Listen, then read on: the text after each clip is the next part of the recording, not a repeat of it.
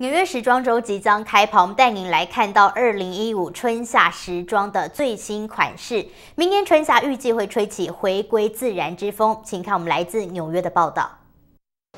我现在就站在纽约的林肯中心，明天呢，纽约时装周就要开始了。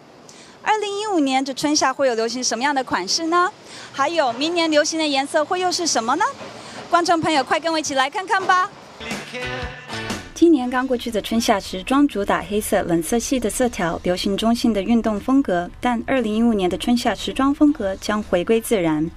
So we start doing color concepts, and then it's sort of, you know, it has to come together organically. There's nothing that can be forced in fashion, otherwise, it looks like it's forced. It looks like you're trying too hard. And I think the best collections are the ones that look very effortless, like to just come together like nature does.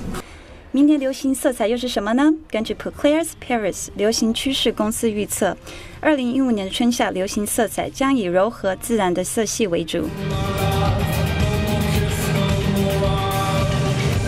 星期四，纽约时装周将有来自全球的六十一个品牌，超过三百名时装设计师，要共同展示二零一五年的春夏时装，让全世界看见时尚的魅力。新唐人记者张碧珍、宋生华纽约采访报道。